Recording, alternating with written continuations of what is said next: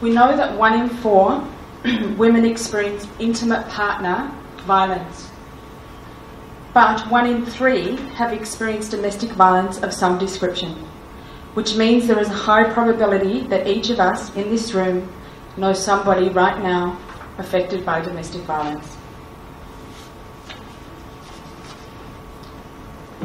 Sadly, we know right now that one woman is killed in Australia by her current partner or her ex partner almost every week. Police deal with an average of 657 domestic violent matters every day. That's one every two minutes.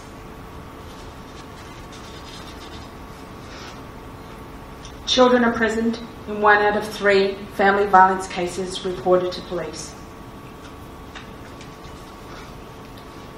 Domestic violence is the number one cause of homelessness amongst older women.